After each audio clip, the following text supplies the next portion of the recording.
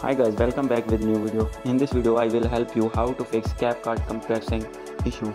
So let's start without wasting any time. So if you have this type of problem then this video is for you. So let's start. So first of all open your settings, click on app and notifications and click on see all 90 apps. So scroll down, click on CapCut, click on force stop and click on storage and cache and clear cache.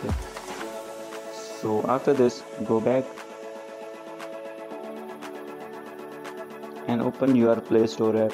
After this search here CapCut.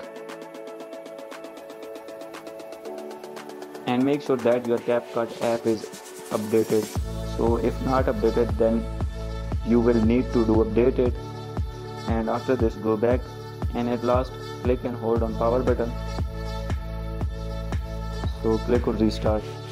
So after restarting your CapCut will be fine. So hope you like this video. If you like this video please do subscribe comment and share. Thank